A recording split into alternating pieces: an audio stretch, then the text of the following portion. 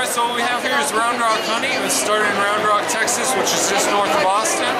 Uh, we now have 4,000 hives stretching from Round Rock up to just near Lewisville and Copper Canyon. Uh, this batch was harvested on Wednesday. You're going to have a very beneficial honey here. It has over uh, two dozen pollens in it. Help you with your allergies. Besides all that, it tastes great. You got any questions for me? Well, you need some name, rank, and serial number to go with this. Serial number?